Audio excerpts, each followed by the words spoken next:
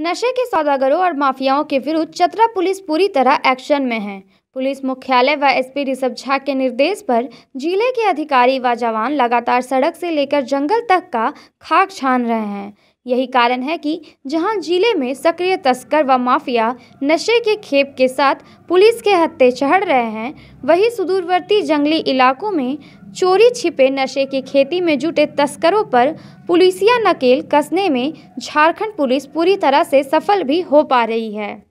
सदर थाना पुलिस ने भी अवैध अफीम की खेती व इससे जुड़े तस्करों के विरुद्ध बड़ी कार्रवाई की है। एसडीपीओ अविनाश कुमार के नेतृत्व में चलाए गए विशेष अभियान के दौरान पुलिस व वन विभाग की संयुक्त टीम ने जंगली इलाकों में चोरी छिपे वन भूमि पर वृहत स्तर पर लगाए गए अफीम की खेती पर डंडा चलाकर तस्करों को बड़ा आर्थिक चोट दिया है। संयुक्त टीम ने सदर थाना क्षेत्र के मुक्तमा पंचायत अंतर्गत नक्सल प्रभावित कच्चा व कढ़ीमा समेत आधा दर्जन गाँवों से सटे जंगलों में अभियान चलाकर करीब छः एकड़ में लगे अफीम की खेती को नष्ट किया है। अपनी सख्ती से बड़े बड़े अपराधियों व उग्रवादियों से राज खुलवाने वाले जवानों ने हाथों में लाठी व डंडे लेकर जंगल में लहलहा रहे अफीम के फ़सल को नष्ट कर तस्करों को चेतावनी दी है। जब फ़सल को तोड़ते तोड़ते अधिकारी व जवान थक गए तो टीम ने अफीम की खेती पर अपनी मौजूदगी में ट्रैक्टर तक चलवा दिया, ताकि अवैध नशे के कारोबार से जुड़े माफियाओं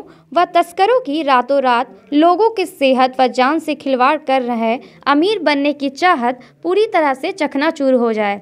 हालाँकि इस दौरान मौके पर पुलिस को देखकर तस्कर जंगल का लाभ उठाकर भागने में सफल रहे।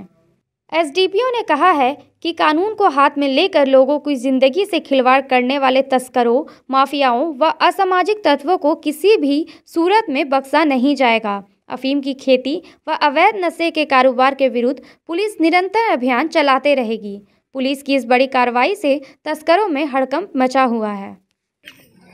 तार सूचना प्राप्त हो रही थी कि सदर थाना क्षेत्र अंतर्गत गाँव कड़ीमा और कच्चा साथ में ही मकदमा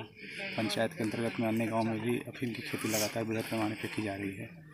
सूचना को सत्यापित करते हुए थाना प्रभारी के साथ टीम बना करके और साथ में फॉरेस्ट विभाग की भी टीम थी और हम लोगों ने लगभग छः एकड़ की खेती को भी नष्ट किया और आगे भी अभियान जारी रहेगा